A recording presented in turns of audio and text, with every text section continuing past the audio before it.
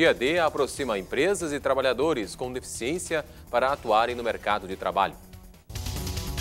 No Rio Grande, 1.700 vagas de emprego. 15º sorteio do Nota Fiscal Gaúcha ocorre com mais de um milhão de pessoas cadastradas.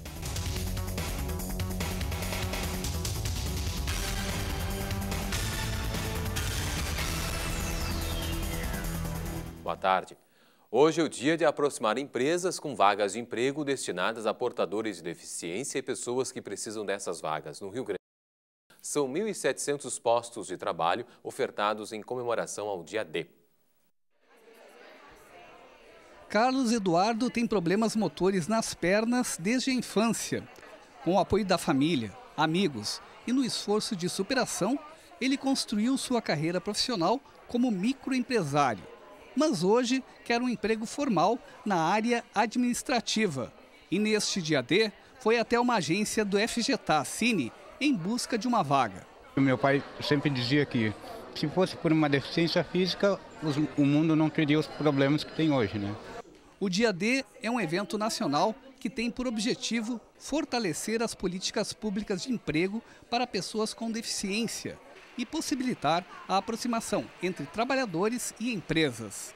Houve uma convocação grande de trabalhadores com deficiência e eles chegam, fazem o seu cadastro no Mais Emprego, eles se, se cadastram no sistema e aí passam a uh, ver as oportunidades que com, são compatíveis com o seu perfil. Nós temos aqui hoje também empresas que são parceiras para a contratação de pessoas com deficiência que estão aqui presentes e a intermediação é possível ser feita na mesma hora, é possível a pessoa sair daqui empregada já. No estado estão sendo oferecidas 1.700 vagas para pessoas com deficiência. Somente em Porto Alegre e região metropolitana são 570 oportunidades de emprego. Os salários variam de 800 a 7 mil reais. Para muitas empresas, além de atender à lei de cotas, a política é romper barreiras e dar oportunidades para todos em qualquer vaga. Queremos incluir as pessoas em qualquer vagas que nós temos na empresa, em toda a região sul e do Brasil também, né? Então, mais ou menos nós estamos ao, com 130 vagas, 150 vagas de liderança, operacionais, e o nosso trabalho hoje é incluir as pessoas. O dia D é também um chamamento a vagas nos cursos de capacitação para pessoas com deficiência. O nosso objetivo é demonstrar para as pessoas que todos possuem potencialidades. A questão é nós ainda agregarmos a elas o foco maior. A capacitação vem nesse sentido. A Transurb recebeu nesta manhã o primeiro dos 15 novos trens adquiridos junto ao consórcio Frota Poa.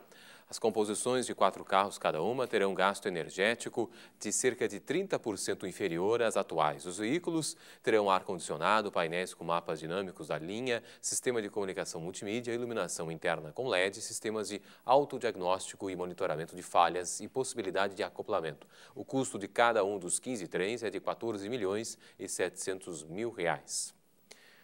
Mais de um milhão de pessoas já estão cadastradas no Nota Fiscal Gaúcha. O programa do governo do estado, que premia o cidadão e estimula doações para entidades sociais, foi lançado há um ano e meio.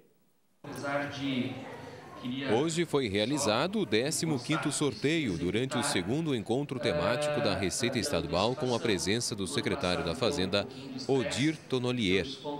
A cada edição, a Nota Fiscal Gaúcha distribui 1.700 prêmios de 500 mil reais a 200 reais. Mais de 7.500 gaúchos já foram contemplados, totalizando 13 milhões de reais em prêmios. A cada compra feita pelo consumidor cadastrado, o governo destina parte do que arrecada para instituições sociais. Mais de 2 mil já foram beneficiadas. O resultado do sorteio está no site www.notafiscalgaúcha.rs.gov.br. Os servidores públicos de São Leopoldo, no Vale dos Sinos, iniciaram a paralisação nesta quinta-feira.